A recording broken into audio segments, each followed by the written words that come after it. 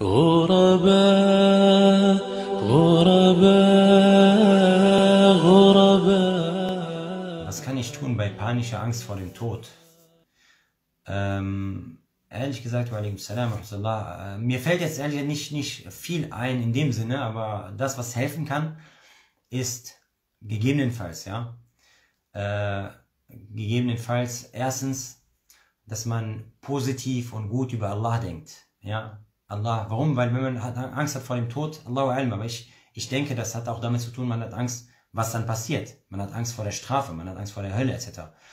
Und erstmal, dass man weiß, Allah Azul ist barmherzig, Allah ist all, der Allerbarme, Allah Azul ist vergibt, ist der Allvergebende, ja. Allah ist mild, Allah liebt die Gläubigen, Allah vergibt den Gläubigen und so weiter und so fort, ja. Das gute Denken über Allah, ja, wenn man solche Probleme hat, sage ich mal, äh, äh, dass es wirklich schon psychische Probleme bringt und, und, äh, und Schlaflosigkeit und so weiter und so fort. Äh, das wäre auf jeden Fall eine Sache, die man machen sollte, das, das gute Denken über Allah. Ja? Dass man weiß, man kehrt zu, zu dem zurück, der dich erschaffen hat und der dich liebt und der, der die Gläubigen liebt und der, äh, der barmherzig ist. Der Prophet Muhammad wasallam sagte, Allah also ist barmherziger zu den Gläubigen als einer, als, als, als das kleine Baby, ja, äh, bei seiner eigenen Mutter. Ja? Es gibt viele solche, solche Hadithe, die man, die man kennt. Und es gibt den authentischen Hadith vom Prophet Muhammad, der bekannt ist als Al-Hadith Hadith al-Bitaqa. Hadith al-Bitaqa, der Hadith der Karte. Eine Karte, eine Karte, eine, ein, ein, ein kleines Stück Papier quasi. Ja, der Hadith ist so bekannt bei den Gelehrten. Hadith al-Bitaqa, kennt jeder. Ja? Hadith al-Bitaqa, dass ein Mann am Tage der Auferstehung kommen wird, zu Allah subhanahu wa ta'ala kommen wird, zur Abrechnung. Und er hat 99 Bücher, 99 Akten, ja? 99, 99, 99 Akten voller Sünden. 99 Akten voller Sünden. Und er hat keine Akten mit guten Taten dabei. Ja? Aber er war Muslim. Er war Muslim, ja? Und er denkt, Khalas, für mich ist sowieso, ich bin Jahannam, ja? Khalas, für mich ist sowieso vorbei. Und dann wird er gefragt, hast du eine gute Tat? Und dann wird er sagen, was wird mir eine gute Tat nützen gegen diese 99 Ordner? Ja, das der hat sein Leben lang nur gelogen und gestohlen und Sinner und keine Ahnung, was er gemacht hat. Ja, 99 Akten, Ordner. Und Allah weiß alleine, wie groß diese Akten sind. Mit Sünden.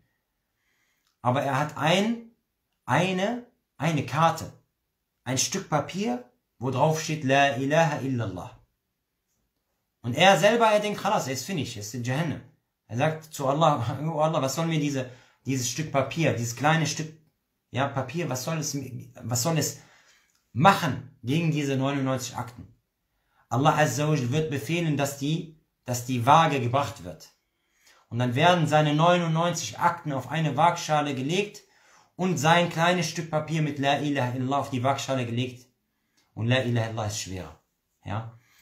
Und deswegen, Barakallahu fikum, äh, und natürlich, ich erwähne den Hadith und ich erwähne ihn ungern, ohne dass ich ja, darüber weiterspreche, aber bei einer Person, die zum Beispiel jetzt vielleicht schon wirklich so äh, in einem, ja, wo, wo jemand schon psychisch leidet äh, und Angst hat vor dem Tod, vor der Strafe vielleicht etc., äh, ist es vielleicht gut zu erwähnen, aber man muss trotzdem wissen, dass dieser Hadith ist nicht einfach so zu nehmen für jeden von uns, okay, hey, easy, ich habe auch La ilaha illallah, ja, ich bin Muslim, dann lass mal reinhauen, ja, lass mal jetzt äh, ausrasten mit den Sünden, weil ich habe ja La ilaha illallah dabei. Ja, das darf man natürlich nicht machen, weil dieser Hadith ist ja auch nicht für, für jede Person. Es war vielleicht für diese eine Person oder diese Person hat wirklich, ja, Allahu alim. Ja, und natürlich, wenn man in diesem, auf diesem Weg ist, wo man die ganze nonstop Sünden, Sünden, nur Sünden macht, ja, und, und gar keine guten Taten, außer vielleicht La ilaha illallah und das Gebet verrichtet, dass man Muslim ist, äh, es kann sein, dass man auch das Gebet dann verliert, ja, und gar kein Muslim mehr ist. Und den ganzen E-Mail verliert. Und deswegen muss man halt aufpassen. Aber, wie gesagt, also gut denken über Allah, Allah ist barmherzig, Allah ist barmherziger als seine Mutter, als, als alle Geschöpfe zusammen. Und schaut auf diese ganzen Barmherzigkeit, die Allah versammelt hat, ja, die Allah gesammelt hat, die Allah äh, ja, verteilt hat. Menschen, Tiere, Djinn, ja. Die ganzen Barmherzigkeiten, wie Eltern zu ihren Kindern sind, im Normalfall, ja, barmherzig, lieb, küssen, beschenken, äh, schützen, umarmen, alles, diese ganze Barmherzigkeit. Die Menschen untereinander, die Ehepaare, die Menschen zu ihren Eltern, die Menschen zu ihren Großeltern, die Menschen zueinander, äh, ja, diese ganze Liebe und diese ganze, alles, alles, was, was menschlich ist, was gut ist, ja, das Spenden ist ja Menschlichkeit, Barmherzigkeit, aus Barmherzigkeit heraus. Das Spenden, das Lieben, das Beschenken, das Lächeln, alles Gute, alles Gute, alles das ist Barmherzigkeit von Allah und das ist eine einzige Barmherzigkeit von 100 Barmherzigkeiten von Allah Azza wie es authentisch überliefert wurde. Und 99 Barmherzigkeiten hat Allah ja, äh, übrig gelassen für den Tag der Auferstehung.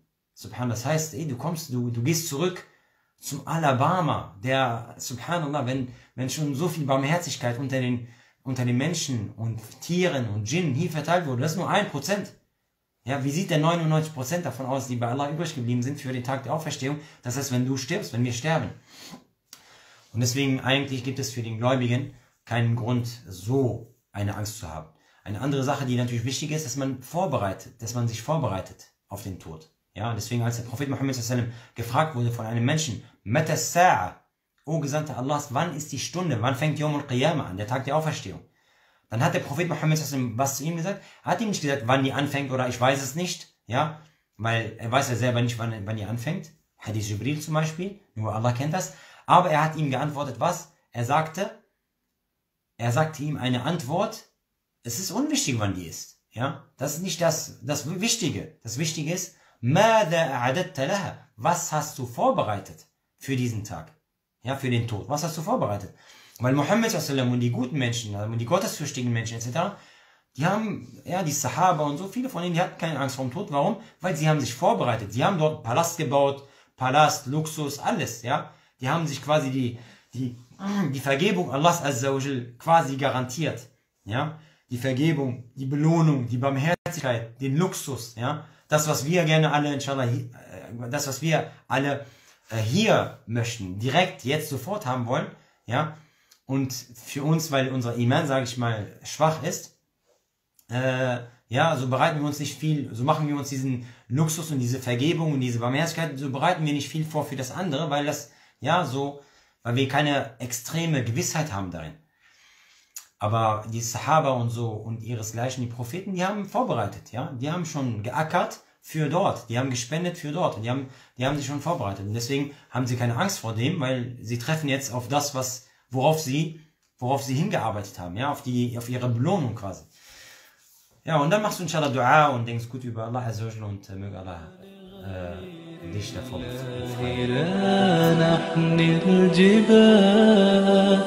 غرباؤنا